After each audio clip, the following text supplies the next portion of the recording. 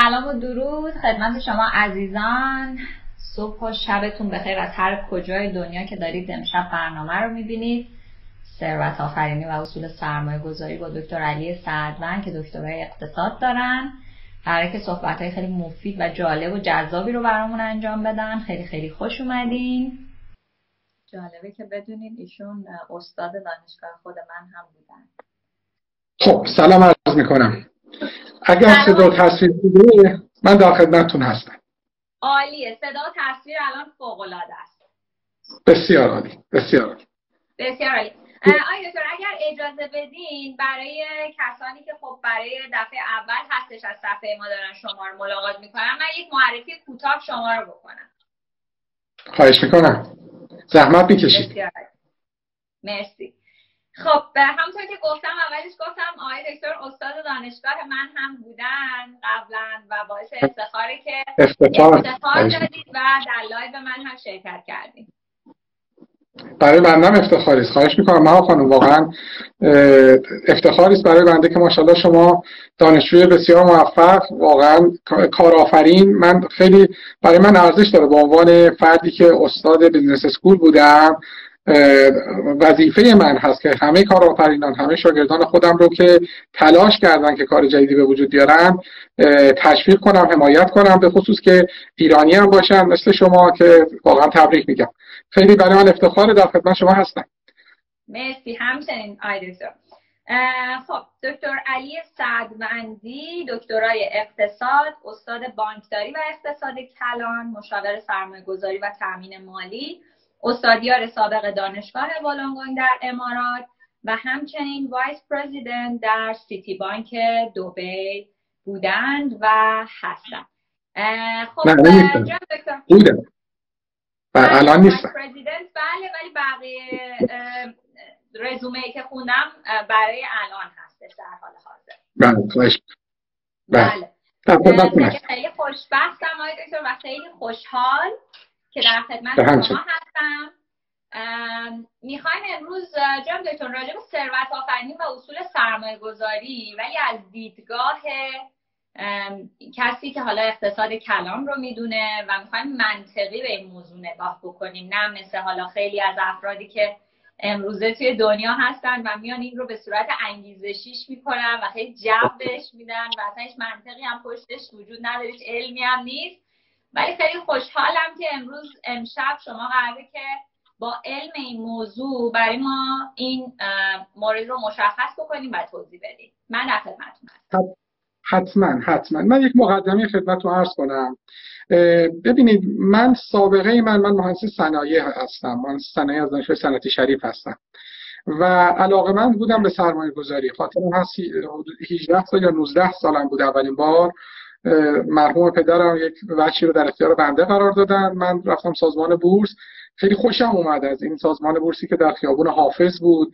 شاید برخی از دوستانی که الان به ما پیوستن خاطرشون باشه اون ساختمون. خیلی من خاطرات خوشی دارم. من البته امروز به فرد دیگری عرض می‌کردم. من وقتی جوان بودم 18 سال 19 سال 20 سالم بود. البته کلاس دانشگاه رو شرکت می‌کردم. نه اینکه شرکت نکنم ولی خیلی علاقه داشتم به سرمایه گذاری و و این شد که اگر وقت آزادی داشتم مثلا بعد از ظهر کلاس نداشتیم خلاصه من سازمان بورس بودم. و من جوانترین فرد بودم اونجا. افراد از زمان قبل از انقلاب یک سری از افراد با بورس آشنا بودن مثلا در سن 60 و 70 خاطرم از شاید یکی دو نفر بودن در سن حدود 50 و یک جوونکی هم بود که بنده بودم در سن 19 و 20 و 21 در سازمان بورس حضور پیدا می کردم فقط گوش می‌دادم به صحبت های اینها. و چیز زیادی هم متوجه نمی شدیم این شد که من در همون مهندسی صنایع هم که بودم مثلا به درس های مالی به درس های حسابداری اقتصاد خیلی علاقه پیدا کردم و فوق لیسانس رفتم مهندسی سیستم خوندم و به طور مشخص روی مسئله در واقع اقتصاد تزم رو نوشتم و بعد رفتم امریکا. البته حالا یک مسائلی هم باید خدمتتون عرض کنم. من در سن 23 سالگی بعدم خیلی از مالی خوب شده بود. منتها اون درس فوق لیسانس که شروع کردم متوقف کردم ولی سرمایه گذاری رو خارج نکردم. بعد از چند ماه که برگشتم سازمان بورس دیدم هیچی نیست. همه چی تموم شد. یعنی همه چی از بین رفته بود. اون همه تلاش اون همه هیجانی که وجود داشت بعد و این خیلی برای من نقطه مثبتی بود در زندگی. حالا بعدها متوجه شدم. وقتی رفتم امریکا برای ادامه تحصیل در رشته اقتصاد شاید برخی از دوستان آشنایی داشته باشن شاید برخی هم آشنایی نداشته باشن. من خدمتتون عرض می‌کنم. ببینید اقتصاد یک رشته محض هست یک علم محض هست. مثل ریاضیات مثل فیزیک محض مثل شیمی محض. قبل فرمایید اقتصاد هم به این صورت هست. اقتصاد کاربردی هم می شود وقتی اقتصاد کاربردی میشه مثلا در عرصه مالی میشه finance. در عرصه مثلا حالا در عرصه دیگه مثلا میشه مدیریت. دقت میفرمایید. یا مثلا حتی political science الان علوم سیاسی از اقتصاد تا حد زیادی منتج شده نظرات اقتصادی استفاده میشه. خب من هم علاقه داشتم که این علم اقتصادی که میآموزم با تجربه هم که قبلا در بازار بورس داشتم خب این رو در هم بیامیزم. این بود که وقتی که در امریکا در دانشگاه ویرجینیا تک مشغول به درس اقتصاد شدم و مدرک ارشد اقتصادم رو که از دانشگاه تک دریافت کردم. بلافاصله شروع کردم درس های finance رو هم گرفتم و بعدها مخیر شدم و MBA finance رو من انتخاب کردم و MBA finance رو دریافت کردم. البته حالا اون جوان 23 ساله ای که وضعیت مالی فوق العاده خوبی داشت. حالا تبدیل شده به یک فردی که داره درس finance می‌خونه ولی برای اینکه هزینه تحصیل رو من پرداخت کنم دچار مشکلات خیلی جدی بودم و خیلی زحمت میکشیدم کار می‌کردم که بتونم این هزینه تحصیل رو پرداخت کنم. همین شد که خیلی بیشتر آشنا شدم با علم finance. یعنی کاملا تجربه هم داشتم در کنار در واقع تحصیلی که انجام دادم. بعد سالها گذشت من ایران برگشتم بعد دوبی اومدم. خاطر شما دیگه جز اولین شاگردان بنده بودی. فکر کنم 2007 با شما کلاس داشتم. 2006 وارد دانشگاه 2006 وارد وارد سیتی بنک شدم. 2008 وارد والونگونگ شدم. فکر می‌کنم 2008 یا 2009 شما با من کلاس داشتید. خب من ده سال در بله. دانشگاه والونگونگ درس بانکداری رو تدریس می‌کردم و درس finance رو و اقتصاد کلان البته. وقتی سال 2018 پدرم بیمار شد و به ایران بازگشتم کم کم دیدم که یک مقداری مثل این که تفاوت دیدگاه وجود داره. من یک نوع دارم به دنیا می نگرم و مردم من مردم کشورم یک نوع دیگه. و مخصوصا به طور مشخص در مورد سیاست گذاری اقتصادی و از اون مهمتر در مورد مالیه شخصی اینکه زندگی خودمون رو چگونه باید اداره کنیم. این من دیدم که گپ وجود داره فاصله وجود داره. حالا چرا این گپ با فاصله وجود به وجود اومده در بین مثلا مردم ایران و مردم سایر کشورها؟ من می‌تونم خدمتتون این رو شهادت بدم که فردی که مثلا 20 سالش است 22 سالش است در ایران و سایر کشورهای جهان وقتی مقایسه می‌کنه مثلا با فردی که در همون سن است در امریکا خیلی ممکنه که مثلا ایرانی خیلی از نظر معلومات عمومی بالاتر باشه.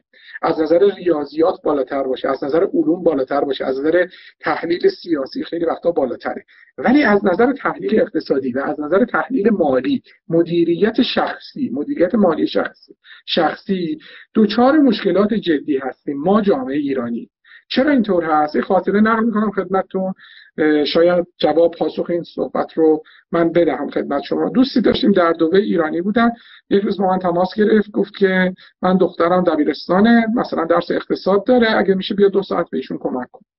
من رفتم حالا درس دبیرستان. ما رفتیم کتاب ایشون رو من دیدم. مطالبی که در زمینه اقتصاد کلان در کتاب این خانم در سن 16 یا 17 سال در دبیرستانی در دبی تدریس می‌شد. من به جرأت خدمت شما میگم بسیاری از اساتید برجسته اقتصاد در ایران نمی‌دونستند و نمی‌دانند. اینقدر تفاوت دیدگاه هست. از نظر علم اقتصاد از نظر علم finance از نظر مدیریت مالی شخصی از نظر مدیریت مالی شرکتی از نظر مدیریت مالی حکومتی و دولتی تفاوتات فوق العاده فاحش است من تلاش می‌کردم فکر می‌کردم چه می‌توانم بکنم. برای بالاخره کشور چگونه می‌تونم تغییر به وجود بیاورم. از اون طرف خب وارد شرایطی شدیم که بازار سرمایه مجددا پس از سالها رونق گرفت و این رونق شدیدتر و شدیدتر و شدیدتر شد. به طوری که در ماه فروردین سال گذشته من به شدت احساس خطر کردم. بحث کرونا هم بود. به عنوان یک وظیفه اجتماعی نه به عنوان یک business. البته الان تبدیل به یک business شد در واقع. یعنی من درآمد دارم از این راه ولی اون زمان اصلا به فکر اونقدر به فکر درآمد ما نبودیم. من شروع کردم به تدریس یک سری دروس اقتصاد و دروس مالی. به خصوص برای اینکه منتقل کنم به افراد که دچار اشتباهات جدی نشوند. به خصوص که نمی‌توانستم خیلی عیان و آشکار عنوان کنم که این وضعیت بازار بورس وضعیت بسامانی نیست. من تصمیم گرفتم به جای اینکه ماهی در دست افراد قرار بدم ماهیگیری بهشون یاد بدم. این بود که اول یک دوره سیاستگذاری مدرن پولی ما ارائه دادیم بعد دوره تحلیل fundamental مقدماتی. خدا رو شکر خیلی استقبال خوبی شد تحلیل fundamental پیشرفته و ظاهرا پیشرفته ترین دوره تحلیل مالی بورس رو در ایران احتمالا بنده در کلینیک اقتصاد ارائه دادم که اگر دوستانم خواستن در وبسایت کلینیک اقتصاد هست و می‌تونن مراجعه بفرمایید وقتی که این قضیه تحلیل مالی تموم شد من دیدم بازم کار ما تموم نشده. چرا کار ما تموم نشده؟ ذهنیت من ایرانی. ببینید آموزش کافی ما ندیدیم که در زمینه مدیریت سرمایه به درستی عمل کنیم. ثروت آفرینی ببینید ثروت آفرینی شهودی نیست. اگر شهودی بود الان از هفت میلیارد مردم دنیا باید مثلا پنج میلیارد دلار ثروتمند بودن میلیونر بودن بیلیونر بودن میلیاردر بودن هر چی می‌خواد اسمشو بگذارید. ولی اغلب اغلب اینطور هستن. اغلب مردم دنیا شاید بالای 90 درصد الان در حساب بانکیشون شاید مثلا 200 دلار پول نداشته باشن. این واقعیت های جهان هست. دقت فرمودید. پس ثروت آفرینی امر شهودی نیست. حالا ممکنه ملت هایی باشن این رو به فرزندان خودشون ارائه بدهند من نمونه خدمتشون عرض می‌کنم. کلا افرادی که به آین یهودیت اعتقاد دارند یک جمع بسته هستند که اینها از خانواده این آموزش رو میدن. به فرزند منتقل میشه. آموزش ثروت آفرینی یا آموزش مثلا صرف جویی واقعی نه صرف جویی خصت و خصاصت. دقیقا میفرمایید صرف جویی واقعی مقدار متفاوته در زبان انگلیسی تحت عنوان thrift یا thriftness می‌شناسیم. دقیقا فرمایید قناعت مثلا چگونه شما باید این مدیریت رو انجام بدید. این بود که یا مثلا مثلا مشهور هست که مثلا مردم هلند ندرلندز در زبان انگلیسی. اینها مثلا امریکا هم گرفتن اینا ثروتمندن. خب این یک آموزش های از پدر به پسر به دختر منتقل شده در خانواده منتقل شده که اینها واقعا از سطح تمکن بالاتری برخوردار هستن. البته شما اگر هلند تشریف ببرید می‌بینید که اکثر مردم از دوچرخه برای ایاب ذهاب استفاده می‌کنند کشور بسیار موفقیه در زمینه ثروت آفرینی. بنابراین من شروع کردم یک دوره جدید رو خودم ابداع کردن که زندگی نامه ده نفر از بزرگان سرمایه گذاری در دنیا رو جمع کردم و در قالب یک دوره ارائه دادم دوره ثروت آفرینی که حدود ده ساعت طول می‌کشه. در این ده ساعت نوع طرز فکری که متفاوت با مردم عادی هست. در میان اون بزرگان ثروت آفرینی و در میان بزرگترین سرمایه گذاران اسطوره‌ای در طول تاریخ سعی کردم ارائه بدم. اون چیزی که در واقع از دستم برمی اومد البته از منابع انگلیسی هم استفاده کردم. اسلایت های انگلیسی و فارسی هم. ساختم و در اختیار افراد قرار دادم. حالا این دوره در اختیار هست. اینجا حالا می‌خوام خدمت عرض کنم. این مقدمه رو عرض کردم که اولا ببینید ما نیاز داریم که بدانیم خانم مفا. ما ما ایرانیا بعضی یه مقدار غرور ملی داریم. یا غرور مثلا پنج واقعا اینطور. ما تمدنمون هزار سال هزار سال تمدنی داریم که در دنیا نبوده. هزار سال سابقه اولین کشور دنیا که به وجود اومده اولین حکومت دنیا ایران بوده. شاید خیلی از ایرانیان این مسائل رو ندونن. اولین امپراتوری دنیا در ایران بوده. اولین حکومت دموکراسی حکومتی که به عقاید مختلف احترام بگذاره به زبانهای مختلف احترام بگذاره ما ایرانیان بودیم. ولی این باعث نشه که ما غروری داشته باشیم که نپذیریم که یک مسائل رو نمی‌دانیم و باید منتقل بشه. مثلا این مثال مثلا در سطح جامعه خدمت شما بزنم در سطح دولت خدمت شما بزنم. ایرانیان هر چقدر هم که ماشاءالله هوش آریایی و ایرانی و اسلامی و شیعی و هر چی شما اسمی بذارید هر چقدر این هوش داشته باشن ما 180 کشور جهان تورمشون کنترل شده ایران نتونسته تورمش رو کنترل کنه. دقیق میفرمایید. خب این این مشکل نیست ولی ولی خب اون علم در میان افرادی که تصمیم گیرن اون علم کنترل تورم وجود نداره. همونطور هم علم ثروت آفرینی در میان همه نیست. ما بیزینسمن های خیلی خوبی داریم. در سطح دنیا شما خودتون دبی تشریف دارید. من هم دبی که بودم وقتی می‌دیدن ایرانی هستم خیلی وقتا می‌گفتن که بیزینسمن. توجه می‌گفتن تو خون شما در ژنتیک شما بزنس هست. بله ما بزنس مذاکره شاید خیلی وقتا خوب انجام میدیم. تجارت خوب می‌کنیم دقت می‌کنیم چونه خوب می‌زنیم اهل چونه هستیم. خیلی اصلا شدید که در دنیا مشهوریم به این قضیه. اما ثروت آفرینی با اینکه شما بزنسمن باشید و تک تک مثلا اون دیل ها تک تک اون مذاکرات رو درست انجام بدید متفاوته. یک سری اصولی داره که اون اصول رو نمی‌دونیم. حالا تا اینجا. حالا من می‌خوام به طور مختصر خدمت شما عرض کنم که خلاصه این مثلا دوره ده ساعته که من برگزار کردم یا خلاصه اون مطالبی که ممکنه خیلی هم نخوان شرکت کنن یا نتونن شرکت کنن یا فرصت رو نداشته باشن تا اونجایی که فرصت بشه تا اونجایی که شما فرصت داشته باشید بینندگان عزیز فرصت داشته باشن دوستانی که پیوستن به این live ما می‌خوایم که صحبت کنیم ببینیم خود چه تفاوت دیدگاهی بین ما وجود داره و افرادی که ثروتمند شدن. اگر تا اینجا سوالی هست من در خدمتتون هستم. اگر نه ادامه میدم. نه من سر و پا گوشم. آی دکتر خب. مثلا هیجان دارم برای اینکه بشنوم این موضوع رو. حتما حتما. بسیار حالا من خدمتتون عرض کنم که ببینید یک روش نوینی سرمایه گذاری در واقع در دنیا ایجاد شد. به خصوص سرمایه در سرمایه گذاری در بازار سرمایه. یعنی بازار سرمایه اصلا چرا به وجود اومد؟ بورس ها در دنیا چرا به وجود اومدن؟ بورس ها به وجود اومدن که یک بستر قانونی عادلانه و فیر ایجاد بشه که افراد بتونن به راحتی با هم مبادله کنن.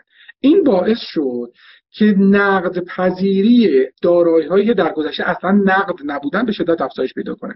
الان شما ممکنه با دو تا از دوستاتون یک شرکت بزنید. خب اگر یکی از دوستان خاص خارج بشه چگونه ممکنه خارج بشه؟ خیلی گرفتاری داره. ولی اگر شما یک شرکت سهامی عام زدید با 200 نفر از دوستانتون. بعد شرکت در بازار بورس مورد تایید قرار مثلا شما در امارات هستید در بازار بورس دبی یا بازار بورس ابوظبی یا بازار بورس نزدک دبی سه تا بازار بورس فقط در امارات هست. اگر بدونید یعنی فقط سه تا فقط سه تا در زمینه سهام و اوراق هست. یعنی بحث دیگر هم داریم. تصویر صدای من خوبه؟ مشکل ندارم؟ بله عالیه من که عالی دارم. بسیار. بسیار ببینید مثلا اگر شما مثلا که در اونجا هستید ببرید این شرکت رو در بازار بورس ثبت کنید لیست کنید به قول معروف. یا در ایران در بازار بورس تهران. حالا تهران ایران هم ماشاءالله گسترش پیدا کرده. فرابورس هم مثلا در ایران داریم. بازار بورس انرژی هم داریم. بازار بورس کالا هم داریم. بورس های کالایی در و بقیه دنیا اصلا بحث دیگری دارن. حالا اخیرا که ما exchange های cryptocurrency حالا به اون صورت بورس نمیشه گفت ولی در واقع صرافی های گسترده cryptocurrency هم اخیرا اضافه شده و داریم و حالا اگر وقتی فرصت داشتید در این موارد هم می‌تونیم با هم دیگه صحبت کنیم. دقت میفرمایید. پس این بازارهای بورس به شما امکان این رو میدن که به راحتی بین سرمایه گذاری مختلف نقل و مکان کنید. تغییر بدید. خب برداشت این است که افراد افراد اول مطلع نبودند که این بازار چه خطراتی داره. و این باعث شد که بازار بورس مثلا در نیویورک به عنوان شاید بزرگترین مرکز مالی دنیا که هنوز هم ادامه پیدا کرده بود 100 ساله در نیویورک این تب بورسی که ما الان هم دیدیم در نیویورک شکل بگیره. و این تب بورس در نهایت باعث شد که تعداد زیادی از افراد وارد بازار بشن به شدت ثروتمند بشوند و ناگهان در 1929 بازار بورس نیویورک چنان سقوطی کرد که برای نسل ها خاطره این سقوط نسل بعد از نسل ادامه پیدا کرد. یعنی اگر شما مثلا در مقابله با بحران کرونا ببینید آمریکا چطور برخورد کرده بقیه چطور برخورد کردن. ببینید آمریکا خیلی شدیدتر برخورد می‌کنه با در مقابله با بحران ها چرا؟ برای اینکه در در زمیر ناخودآگاه جمعی این کشور مسئله این که شما اگر به بحران مالی نرسی ممکنه فاجعه بشه این خیلی گسترده شده. یعنی همه می‌دونن این قضیه رو که ممکنه فاجعه بشه. من حتی وقتی که تحصیل می‌کردم اونجا از مردم عادی برای من صحبت می‌کردم مثلا از خاطرات پدرانشون پدر بزرگاشون که در مورد سقوط بزرگ صحبت می‌کردن.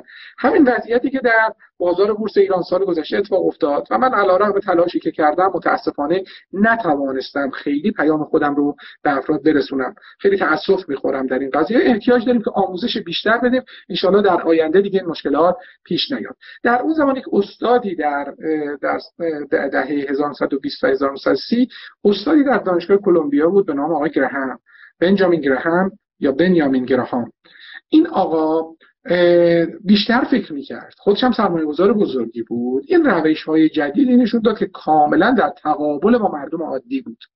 دقت فرمودید پس روش روش تقابلی رو در پیش گرفت. این آقا تعداد زیادی دانشجو تربیت کرد که این دانشجویان اکثرشون شدن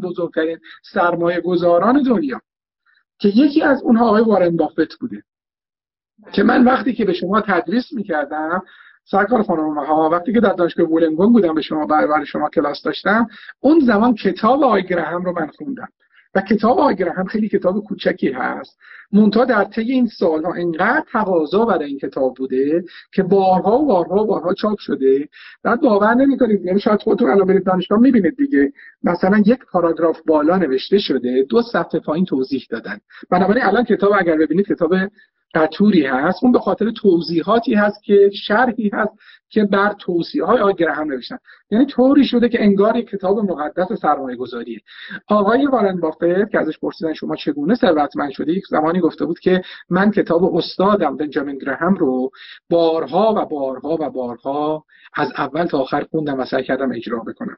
حالا خود این آقای وارن بافت رو ما داریم مثلا دوره من سعی کردم توضیح بدم یا تحلیل کنم زندگیش رو. ایشون خیلی آدم عجیبیه خیلی علاقه داشته به سرمایه گذاری حتی ایشون به پول علاقه نداره به سرمایه گذاری علاقه داره. به اینکه در این بازی موفق بشه. این بازی شیرینی هست اگر شما در قواعد اون بازی رو بدونید. اگر قواعد بازی رو ندونید بازی بسیار تلخی خواهد بود. حالا من اگه خاطرتون باشه عرض کردم که تا 23 سالگی من در واقع در 23 سالگی در بورس تهران به یک فرد ثروتمندی تبدیل شدم. وقتی دوره فوق لیسانسم شروع کردم وقتی برگشتم همه چی برای من عجیب بود. بعد از سه ماه برگشتم سازمان بورس اصلا باورم مثلا این قیمت رو من همه حفظ بودم. بعد نگاه می‌کردم می‌دیدم مثلا مثلا قیمت مثلا این سهامی بوده مثلا 2000 تومان. بعد نگاه می‌کردم می‌دیدم مثلا شده 1700 تومن بعد می‌دیدم یه صفر کم داره. یعنی 170 تومنه. یعنی مثلا 2000 تومن بوده شده 170 تومن می‌گفتم لابد مثلا من مشکلی برام پیش اومده خوابم. چون اون زمان اینترنت و اینها به این صورت امروز نبود. من هم اون سه ماه چک نکرده بودم. بعد رفتم مثلا بررسی کردم روزنامه ها رو یکی یکی نگاه کردم. دیدم روز اول منفی روز دوم منفی روز سوم منفی. تمام اون سه ماهی که من نبودم تمام اون سه ماه منفی شده بود. و و بعد مثلا از یک جوان 23 ساله ثروتمند در واقع تبدیل شدم به یک فردی که دوباره باید زحمت بکشم و یاد بگیرم. وقتی در امریکا ما درس MB finance رو میخوندیم یک استادی بود به نام پروفسور کرل که برای ما یک درسی می‌دادن به نام applied corporate finance یعنی مالیه شرکتی کاربردی. و این درس برای من بسیار بسیار درس جالبی بود. به صورت بررسی های موردی یا کیس استادی مطرح می‌شد. یعنی هر هفته به ما یک جزوه می‌دادن مثلا 20 صفحه 30 صفحه 60 صفحه حتی. می‌گفتن خب اینا رو همه با هم همه کلاس برید برید اینو بخونید. همه با هم بخونید حل صحبت کنید. بعد پنج تا سوال مطرح میگن اینا جواب بدید. آقا ما می اومدیم هر هفته ما می اومدیم واقعا عرق می‌کردیم در حالی که ایشون گفت آقا نمرتون رو من میدم. یعنی گفته بود من یا نمره اول به همه میدم یا نمره دوم. اگر مثلا پروژه تحویل بدید به همتون بالاترین نمره کلاس میدم. اگر پروژه تحویل ندیدم یه نمره خیلی خیلی خوب بهتون میدم. خب این هم یک روش تدریس دیگه. سرکار خانم ها همه مثل ما نیستم مثلا تو دانشگاه بولونگون که همین یا سیستمی که در ایران از کنکور باشه چوب استاد باشه اصلا چنین چیزی نه اصلا ولی هر بار که ما می‌رفتیم سر کلاس و مطمئن بودیم که این دفعه دیگه واقعا به نحو احسن ما این تحلیل رو انجام دادیم و کاملا درست فکر می‌کنیم آخر کلاس واقعا من بعضی وقتا خودم امیدم عرق کردم یعنی اون همه تلاشی که در یک هفته کرد انجام دادن همه غلط بود. آقای پروفسور کرل یه بار سر کلاس گفت که ببینید همه در بازار بورس شکست می‌خورن دوستان عزیزی که در این لایو حضور دارن همه در بازار بورس شکست می‌خورن یک کسی خوششانس در 15 سالگی و 18 سالگی و 20 سالگی شکست می‌خوره. یک کسی خوششانس نیست در 60 سالگی شکست می‌خوره. اونی که در 60 سالگی شکست می‌خوره دیگه فرصت جبران نداره. در بازار سرمایه همه درس می‌گیرن بله یک مقداری از این درس ها رو میشه به صورت فرد به فرد به صورت اپرنتسشیپ یا استاد و شاگردی منتقل کرد. یه تعدادش هم نمیشه. نمیشه دیگه کارش کرد. دقیق میفرمایید. حالا ما تا اونجایی که بشه سعی می‌کنیم که اینها رو منتقل کنیم. حالا آقای بنجامین گراهم اومد دید رفتار سرمایه گذاران رو می‌دید اون زمان. و به این نتیجه رسید که همه دنبال سهامی هستن که رشد خیلی بالا داره. ولی ممکنه که اگر روش دیگری داشته باشی شما بیشتر سود کنید ایشون اومد روش سرمایه گذاری رو مطرح کرد تحت عنوان سرمایه گذاری ارزشی value investing. value منظور سهامایی هستن که رشد زیادی ندارن. ایشون اومد مطرح کرد که آقا اون سهامی که رشد زیادی ندارن شما بخرید با خیال راحت. مثل پولی که در بانک می‌ذارید کم کم به شما بازدهی بالایی خواهد داد. آقای وارن بافت اگر اگر موفق شد فردی بود که از این روش استفاده می‌کرد. دقت میفرمایید. و این روش به آقای وارن بافت در واقع به, به, به حدی رسید که آقای وارن بافت مدتی سرمایه گذار اول دنیا بود. الان هم ممکنه از نظر ثروت افرادی مثل آقای بزوس مثلا مثل آقای بیل گیتس مثل مثلا چند نفر دیگه از آقای وارن بافت ثروتشون بالاتره. ولی هیچ کدوم در بازار سرمایه از آقای وارن بافت جلو نزدند. اینها در واقع کمپانی جدید به وجود آوردن تکنولوژی جدید به وجود آوردن. ولی آقای وارن بافت مثلا رفته چی خریده فکر می‌کنید؟ اصلا باور نکردنی. سهام کوکاکولا خرید میلیاردر شده. سهام مثلا شرکت بیمه خریده میلیاردر شده. بعد امروز امروز خریده سی سال نگه داشته چهل سال نگه داشته. خب این یه روش جدیدی از سرمایه گذاران معمولا اینجوری کار نمی‌کنن. از این میپرن به اون از اون میپرن به اون. خب پس حالا اخیرا من یک نکته خدمتتون عرض کنم که در این دوره ثروت آفرینی نیست اتفاقا اخیرا من دیدم. با آقای بزوس که مدیر عامل و بنیانگذار شرکت آمازون هست. با ایشون مصاحبه داشتن گفتن آقا شما چگونه عمل می‌کنی اینقدر موفقی؟ گفتن من روزی هشت ساعت میخوابم. به خوابم نباید صدمه بخورم. خب یعنی چی هشت ساعت میخوابی؟ که چی؟ ببین یعنی مثلا اصلا اینقدر مهمه. ما داریم می‌پرسیم شما چطور موفق شدی؟ میگی من خوب میخوابم. بعد ایشون میگه ببینید میگه که من روزی سه تا تصمیم بیشتر نمی‌گیرم. این سه تا تصمیمی هم که می‌گیرم هر کدوم از این تصمیم ها کمتر از سه ماه سررسیدش نیست. یعنی من یه تصمیم می‌گیرم که اثرش یا سه ماه دیگه ظاهر میشه یا اکثر تصمیماتی که من می‌گیرم اثرش سه سال دیگه پنج سال دیگه ده سال دیگه ظاهر میشه. من چنین تصمیم می‌گیرم اون سه تا تصمیم اگر درست گرفتم اگر اون تصمیم رو درست اتخاذ کردم کل این شرکت رشد می‌کنه من هم رشد می‌کنم. اگر درست اتخاذ ببین من ایرانی چجوری میگم؟ من ایرانی میگم من روزی 50 تا بعد تصمیم بگیرم. همش هم می‌تونم هیچ مشکلی هم ندارم. دقت میفرمایید. ولی خب میرم همش هم مشکل داره. یعنی روی هیچ کدوم دقت کافی نمی‌کنم. بعد حالا اینو می‌خوام خدمت شما بگم. سرکار خانم می‌خوام آقای بزرس بعد میگه تازه این منم. که سه تا تصمیم در روز می‌گیرم. فردی داریم در این دنیا به نام آقای وارن بافت. اون سه تا تصمیم تو سال می‌گیره. یعنی در سال دوازده ماه هر هر چهار ماه یه دونه تصمیم داره می‌گیره. یه شرکت می‌خره. حالا من جالب برای شما بگم که آقای وارن بافت یکی از دوستان من یک زمانی در دانشگاه تورنتو تحصیل می‌کرد. بعد توری با تور رفته بودن به نبراسکا که آقای وارن بافت اونجا هست سالیان ساله. شاید برای شما جالب باشه که آقای وارن بافت در همون خونه زندگی می‌کنه که از 1900 فکر کنم هفتاد در همون خونه زندگی می‌کنه. ماشینی هم خیلی ماشین قدیمیه. همه پولش هم صرف خیریه کرده.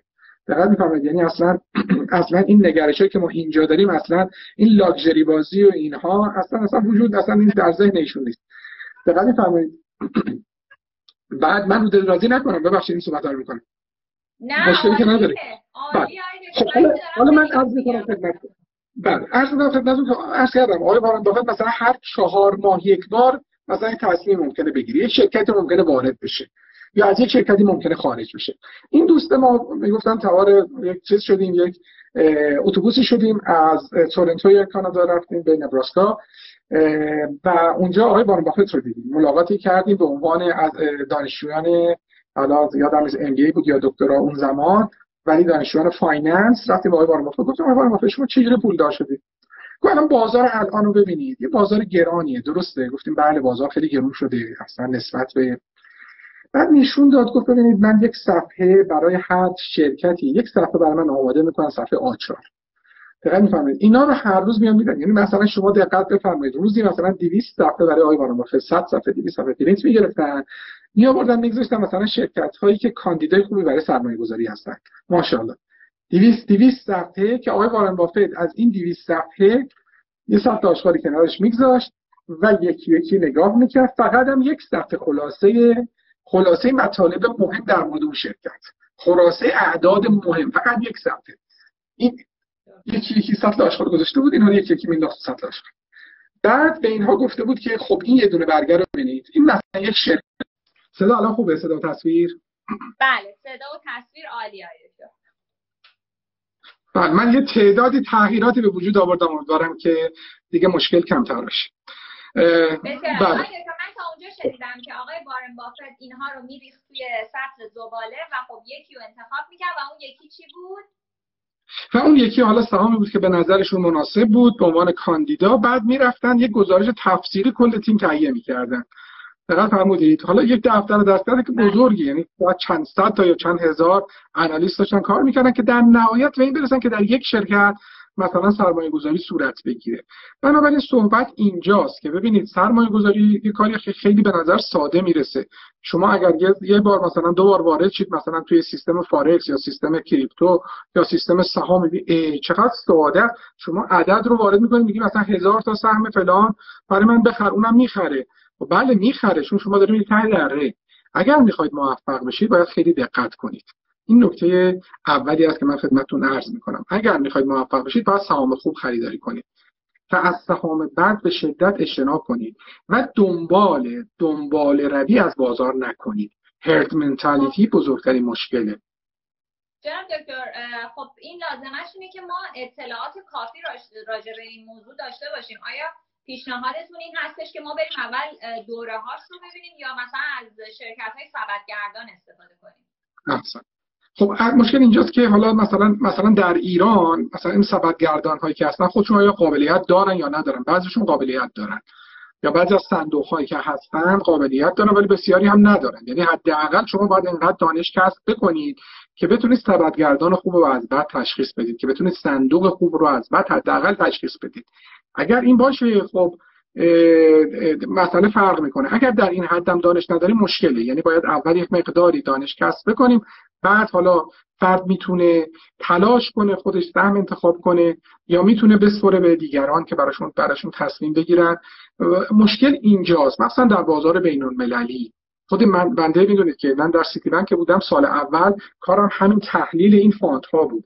هم hedge fund ها هم mutual fund ها. ولی الان دیگه فرصتش نیست که من خدمت شما توضیح بدم hedge fund و mutual fund شاید در فارسی بتونیم بگیم در ایران بتونیم بگیم مثلا سبدگردانی شبیه hedge fund ه و و صندوق mutual fund اینجوری مثلا ما یک تناظر اینجوری برقرار بکنیم تفاوت هم دارم من کلا کارم این بود که بشینم اینا رو تحلیل کنم یه تعدادی رو مثلا از 5000 mutual fund ی که ما در پلتفرم خودمون داشتیم حالا برسیم به 5 تا مثلا سهام و ببخشید صندوق رو برای یک مشتری مثلا و حالا پولش رو تقسیم کنیم در این صندوق ها البته اینها افرادی بودن که ثروت زیادی داشتند که این هزینهش میسرفید که ما این همه تلاش بکنیم که در واقع این صندوق ها رو الوکیت بکنیم صندوق مثلا اینها رو در واقع پولشون رو سرمایه گذاری کنیم در این صندوق ها ولی تجربه من نشون می‌داد که خب خیلی از این صندوق ها در سطح بین المللی هم افراد قابلی متاسفانه نیستند. اگر دوستانی مثلا در دبی هستند مخصوصا در دبی. چرا؟ برای اینکه صندوقی که در امریکا مثلا یک درصد هزینه دریافت می‌کرد در دوبه پنج درصد ده سال پیش دوازده 15 سال پیش پنج درصد هزینه دریافت می‌کرد. پنج درصد خیلی خیلی هزینه بالایی هست. به همین دلیل یک سری صندوق های دیگری به وجود آمد به نام ETF که شاید دوستان آشنا باشند که متاسفانه در ایران این لفظم این واژه به یک صورت نادرستی استفاده شد. این ETF یعنی صندوق هایی که در بازار بورس مبادله میشن و چون در بازار بورس مبادله میشن و هزینه هاشون پایین تر هست این به نفع سهامدار ممکنه باشه. یعنی اینها زیاد پول مثلا متخصص مالی نمیدن پول تحلیلگر مالی نمیدن. مثلا در شاخص سرمایه گذاری می‌کنن. اگر مثلا در شاخص بورس تهران فولاد مبارکه مثلا 3 درصد 5 درصد نقش داره اینا صندوقی می‌خرن دقیقا 5 درصد در فولاد مبارکه سرمایه گذاری می‌کنن. سعی می‌کنن شاخص رو replicate کنن. سعی می‌کنن شاخص رو follow کنن. دقت میفرمایید. پس بنابراین حالا ما پیشنهادمون این هست. اگر در بازار بین المللی دوستان خواستن وارد بشوند سعی کنید که بیشتر سعی کنید در ETF ها وارد بشوید. در صندوق های وارد بشوید که در بورس ها ثبت شده و هزینه هاش هزینه های کمی است. به expense ratio یا هزینه اون صندوق ها دقت کنید حتما. این نکته خیلی مهمی است. چون افراد بدونید که آگاه باشند مبالغ زیادی رو از دست می‌دهند. حتی برای من که بالاخره خیلی در این زمینه ها کار کردم. خاطرم از یه بار برای من اتفاق افتاد. یعنی من در جایی سرمایه گذاری کردم. فکر می‌کنم یادم نیست در هند بود یا در کره بود. من یک سرمایه گذاری بزرگی هم انجام دادم. بعد دیدم این شاخص رشد کرد شاخص رشد کرد و منم دیگه چک نمی کردم گفتم خب خیلی وضع خوبی ما پیدا کردیم و بالاخره مثلا دو برابر شد. بعد رفتیم دیدیم برای ما دو برابر نشده. بعد دیدم هزینه هاش خیلی بالاست. این همه دقت کنید. هزینه ها رو من خاطرم هست با آقای یکی از بزرگان سرمایه گذاری پروفسور کدلاک. در امریکا من در هم دانشگاه ویرجینیا کلاس همین اینوستمنت کلاس سرمایه گذاری داشتم. این اون زمانم ایشون خیلی تاکید کرد روی هزینه های صندوق ها پس شما چون سوال فرمودید در مورد صندوق و ثبت گردانی بله صندوق و ثبت گردانی می‌تونه خوب باشه به, به... به شرط اینکه هزینه اون تبخر رو در واقع توجیه بکنه یا تبخر هزینه رو توجیه بکنه. دقیق میفرمایید. یعنی اینطوری نباشه که حالا بالاخره متخصص هستن ولی شما ممکنه 20 درصد دریافت کنه در حالی که خودش مثلا داره 5 درصد 2 درصد 3 درصد داره ولیو ارزش ایجاد می‌کنه. من در خدمت شما هستم. بسیار عالی. جناب دکتر سوالی که برای من هست اینه که خب ما چون یه چند دقیقه بیشتر وقت نداریم یه ده دقیقه بیشتر وقت نداریم این هستش که خب شما تو این دوره ای که آموزش می‌دید آیا به این شکل هست به این نحو هستش که آموزش می‌دید ما چجوری یعنی از ابتدا به خاطر اینکه خب حالا ما زندگی افراد موفق و افراد سرمایه گذار رو وقتی می‌خونیم زندگی فعلیشون رو می‌خونیم و خب اینها هم یک روزی از صفر شروع کردن درسته؟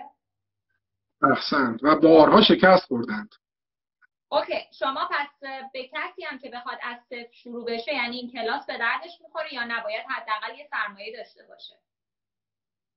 نه ببینید من من من اصلا یعنی ببینید این این افرادی هم که شروع کردن حالا ممکنه یک یک وقتی فردی یک base سرمایه گذاری داشته باشه پول اولیه داشته باشه بر اساس اون شروع کرده باشه. ولی مطمئن باشید که بدون بدون knowledge بدون دانش این افراد به این سطح از تمکن نرسیدن. دقت میفرمایید. نکات خیلی جالبی من خود برای بنده که حداقل شما می‌دونید دیگه. من ده سال در دانشگاه وولنگونگ استاد بانکداری و finance بودم دیگه. فقط ده سال من من 15 درس مختلف رو در دانشگاه بولونگون تدریس می‌کردم. نه درس پست گرد بوده فقط پنج درس یا شش درس آندرگراد بود. البته یک درس هم درس اگزیکتیو بود درس برای مدیران بود. یعنی 14 درس رو برای دانشجوها یک درس برای مدیران. از اون 14 تا فقط 5 تاش درسی بوده که من به دانشجوی لیسانس دادم. بقیه‌اش فوق لیسانس بود. با این حال وقتی که این دوره ثروت آفرینی رو مثلا من خودم تحقیق کردم و به وجود آوردم خیلی برای من جالب بود. نکاتی در این دوره گفته میشه که بی‌نظیره. مثلا یک مثال خدمت شما بزنم. همونجور که آقای وارن بافت بزرگترین سرمایه گذار شخصی در دنیا البته ایشون شرکت برکشایر هاتوی رو داره با آقای مانگر که ما در مورد آقای مانگر هم اتفاقا توضیحاتی در این دوره دادیم. اما همونطور که آقای وارن بافت خیلی ثروتمند بوده خیلی موفق بوده به عنوان یک سرمایه گذار شخصی از نظر سرمایه گذاران نهادی یعنی یک شرکتی که شرکت بزرگی بوده یک مدیری رو در, در رأس این شرکت قرار دادن صدای بنده خوبه؟ مشکل نداریم؟ بله بله صداتون عالیه بله. بله. ببینید یک فردی رو در, در رأس این شرکت قرار دادن به نام آقای پیتر لینچ. آقای پیتر لینچ وقتی که میاد در رأس این در واقع صندوق بزرگ و یکی از بزرگترین صندوق های دنیا قرار می‌گیره این صندوق رو متحول می‌کنه. خیلی حرفه. همین الان خدمت شما عرض کردم که من فقط اون پلتفرمی که من سعی می‌کردم صندوق پیدا کنم 5000 تا صندوق در اون پلتفرم فقط بود. حالا یکی از این 5000 تا اینقدر موفق بشه و این موفقیت ادامه پیدا کنه. پس پس روش سرمایه گذاری آقای پیتر لینچ نصایح و توصیه‌ای که آقای پیتر لینچ می‌کنه بسیار ارزشمنده. برایشون شاید برای شما جالب باشه. آقای پیتر لینچ چی میگه؟ میگه تو زندگی شخصیتون بگردید. ببینید اگر یک جایی دیدید که یک محصول خوبی داره تولید میشه برید تو همون سرمایه گذاری کنید. به طور مشخص یه روزی خانم خانمش میاد منزل یعنی ایشون که میره منزل خانمش میگه من امروز رفته بودم خارباد فروشی رفته بودم مثلا اغذیه تهیه کنم و اونجا صدام دارید؟ حال. اگر صدا می‌رسه من ادامه بدم در مورد آقای پیتر لینچ چون نکته جالبی رو.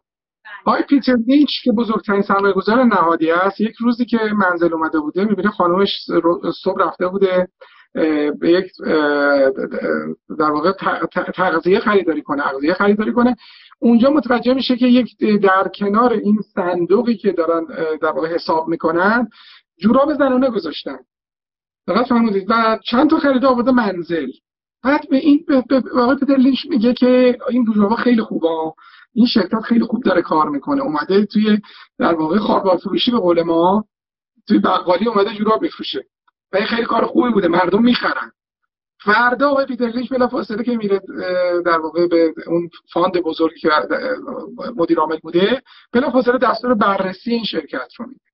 وقتی بررسی می‌کنه می‌بینه که از نظر مالی بی‌نظیره و خریداری می‌کنه سهام اون شرکت خریداری می‌کنه و این یکی از موفقیت های پیتر لینچ میشه. یعنی آقای پیتر لینچ چی میگه؟ میگه تو زندگی شخصیتون همینجور که دارید زندگی می‌کنید اگر دیدید یک تغییری یک جای یک کسب و کاری از تغییری به وجود آورده برید سراغش. اونجا سرمایه گذاری کنید. بنابراین میگه مثل اینکه میگیم راه های رسیدن به خدا به اندازه تعداد خلایق روی کره زمینه. به همین صورت هم راه های پولدار شدن فقط برای افراد خاص نیست برای همه هست. شما فقط باید چشماتون رو باز کنید. نمونه دیگه خدمت شما عرض می‌کنم. من اومده بودم دبی یک دوستی داشتم که این دوستم خیلی علاقه به سرمایه گذاری داشت علاقه به مسائل مدیریتی و مالی داشت. یک بار با هم صحبت می‌کردیم می‌گفت که من می‌رفتم به فروشگاه سر می‌زدم دقت می‌کردم. یک زمانی متوجه شدم که شرکت نایک که رقیب شرکت آدیداس بود تغییر در واقع شرایط داده. یعنی محصولش خیلی کیفیتش بالاتر رفته. دیزاین ها خیلی بهتر شده. رنگ ها خیلی جذابتر شده. میگم من رفتم تحقیق کردم که بله مثلا مدیریت تغییر کرده. برنامه های ویژه دارن. میگم من بلافاصله اون سهام خریدم. و می‌گفت که من بهترین خاطره که دارم از سرمایه گذاری در بازارهای بورس همین سرمایه گذاری بود که در نایک انجام دادم و سهام چند برابر شد و سود بسیار خوبی کرده بود. ببینید اینها نکاتی است که شما وقتی بشنوید به نظرتون خیلی راحت می‌رسه خیلی قابل قبول می‌رسه ولی خیلی نکات شهودی نیستن. اگر کسی خدمت شما یه بار اینا رو نگفته باشه ممکنه که ممکنه که قبول نکنید نپذیرید. شما میرید به مغازه مثلا می‌بینید که مثلا حالا سهامش نیست ولی مثلا میرید ببینید یه شرکتی اومده همه جای دفعه زعفرون داره میفروشه. دقیقاً می‌فهمید؟ خب این ممکنه که یعنی نشون میده که بالاخره ساپلای چین کلا تغییر کرده. که می‌بینید یه محصول خاصی مثلا ایجاد شده ممکنه سهامش باشه ممکنه شما برای فرصت سرمایه‌گذاری داشته باشید. اینجور مواقع یک فرصتی در اختیار همه افراد قرار می‌گیره که می‌تونن از این فرصت بهره مند بشن. اصول اصول تعداد زیاد نیست. یعنی اینجوری نیست که شما مجبور باشید مثلا 100 تا اصل رو رعایت کنید برای ثروت آفرینی و سرمایه گذاری. اما اصول معدودی هست که شما باید خیلی خوب دقت بکنید و اون وقت اتفاقا خیلی خوب نتیجه می‌گیره یک نکته دیگه هم خدمت شما عرض می‌کنم. حالا ممکنه فرصت هم نباشه ولی همین یک نکته بالاخره به عنوان بالاخره یک چیزی هم از این جلسه بگیریم. ان امیدوارم مفید بوده باشه. ببینید ما خواهش می‌کنم. من وقتی به شما درس می‌دادم سرکار خانم حالا به شما فکر می‌کنم فین تو تو وان درس دادم. ولی ولی خب بله. یادم اونجا من صحبت در مورد سرمایه گذاری می‌کردم یا نه. ولی وقتی که در مورد سرمایه گذاری صحبت می‌کنیم در در آکادمیا در دانشگاه در مدرسه میگیم تا اونجایی که می‌تونید یه دونه تخم رو توی سبد قرار ندید. دقت میفرمایید. و و به طور علمی میگیم اگر شما تعداد سرمایه گذاریاتو از 25 تا به بالا داشته باشی یعنی یعنی به طور متوسط هر سرمایه گذاری شما 4 درصد مثلا ارزش داشته باشه در کل سبد سرمایه گذاری شما ریسک از بین نمیره ولی ریسک به حداقل می‌رسه. این کاملا درسته. این یکی از دلایلی است که توصیه میشه شما در صندوق ها سرمایه گذاری کنید. اما به این نکته دقت کنید نکته که آقای وارن بافت بزرگ دنیا میاد میگه. میگه اگر تعداد سرمایه گذاری هم بیش از حد زیاد کردی تمرکز نسبت به هر کدوم از اینا از بین میره و اتفاقا ضررهای بسیار بزرگی می‌کنی. یعنی درسته که شما داری چیز رو کم می‌کنی مثلا تعداد سهام رو زیاد می‌کنی ریسک هر سهم رو میاری پایین ولی توجهت رو به هر سهم هم کاهش میدی.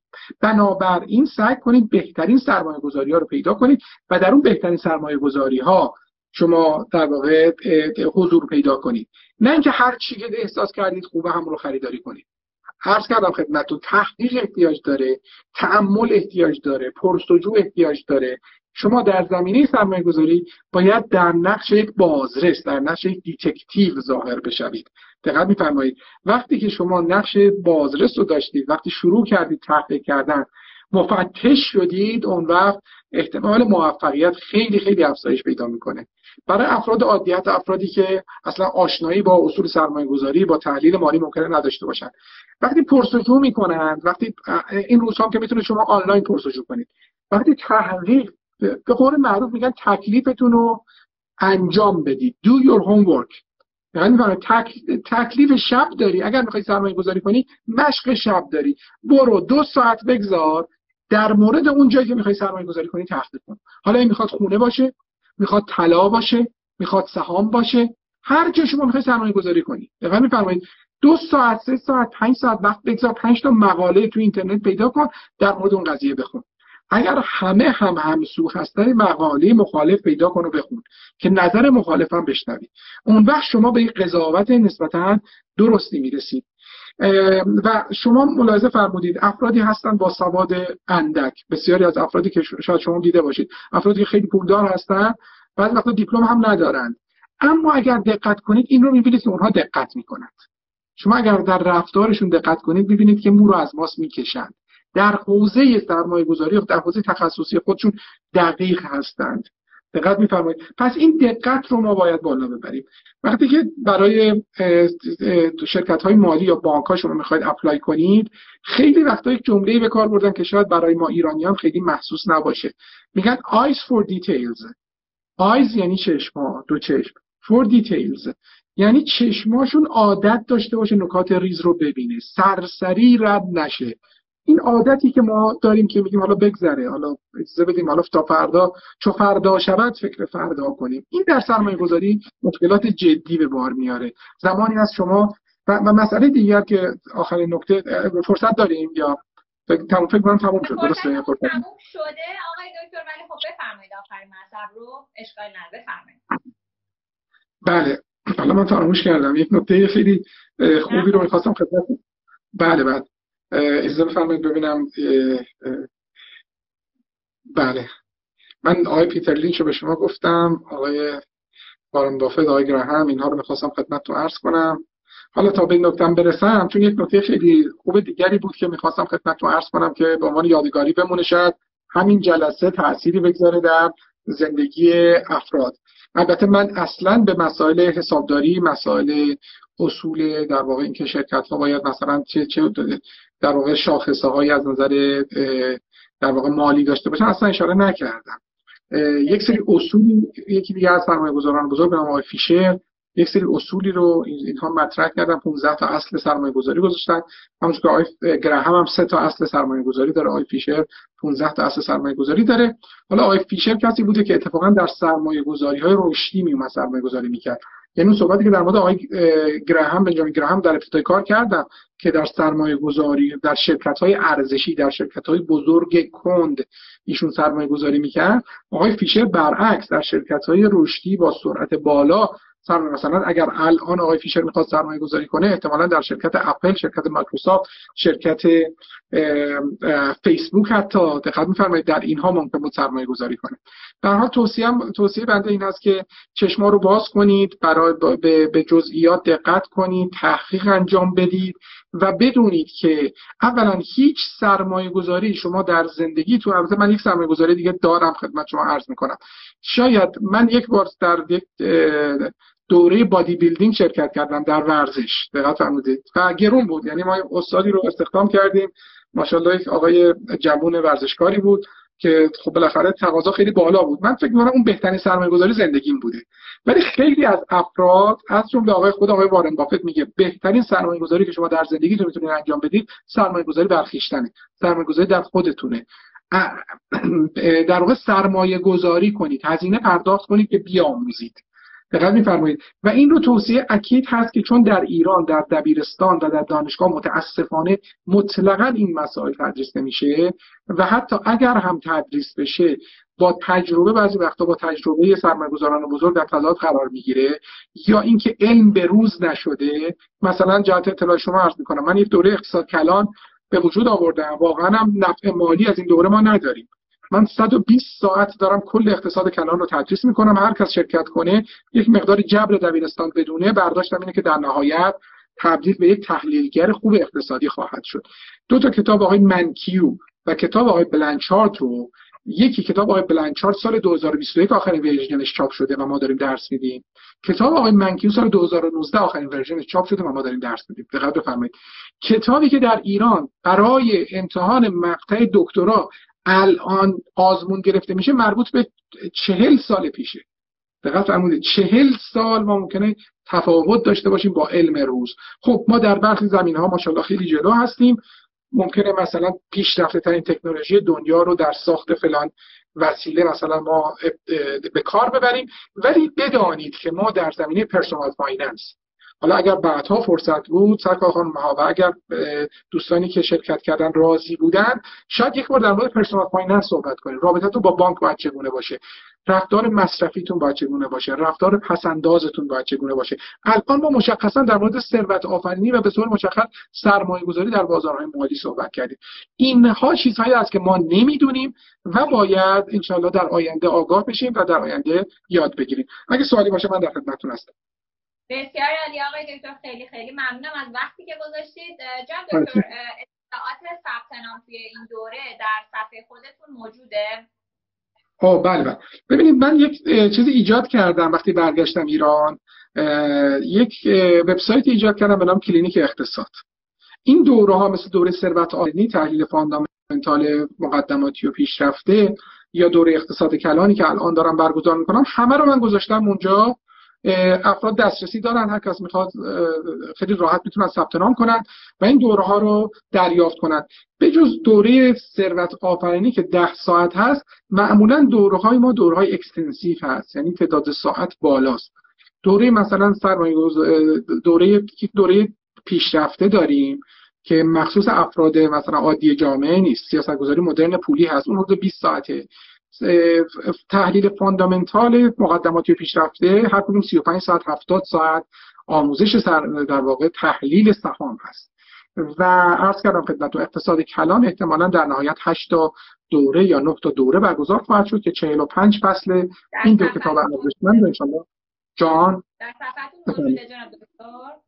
بله بله. همه همه رو ما گذاشتیم در چیز هست در در وبسایت همه اگر بخوان ثبت نام بکنن از طریق خود صفحه اینستاگرامتون می‌تونن بهتون direct بدن. بله در صفحه اینستاگرام هم گذاشتیم کلینیک اقتصاد یا EconClinic.com دوستان مراجعه کنند یا حتی پیام بدن پاسخ داده میشه و ما دیگه ببینید کاملا یعنی کاری که بنده دارم انجام میدم یه مقداری سعی کردم البته در اقتصاد ایران سعی کردم تاثیراتی داشته باشم سعی کردم پیشرفت ایجاد بشه. خب اون خیلی موفق نبوده تا امروز البته در بعضی از جاها تغییراتی حاصل شده ولی خیلی موفق نبوده. من سعی کردم ارتباطم با مردم باشه. دقت میفرمایید. یعنی ما اگر بتونیم مردممون رو اینیبل بکنیم مردممون رو قوی بکنیم دقت میفرمایید. همه اگر ثروتمند بشن و کشور ما ثروتمند میشه. فعلا استراتژی بنده این هست که قدرت تحلیل مالی و تحلیل اقتصادی رو به عموم مردم یعنی این نهادی هم که ایجاد کردم آموزش اقتصاد من فعلا برای مدیران ندارم. من آموزش اقتصاد برای عموم دارم. دقیقاً فرم برای همین برای همینه که مثلا 120 ساعت داریم آموزش میدیم. چون همه رو ساده می‌کنیم. بارها توضیح میدیم که انشالله برای همه برای همه افراد جا بیفته. بسیار سپاسگزارم و افتخار می‌کنم.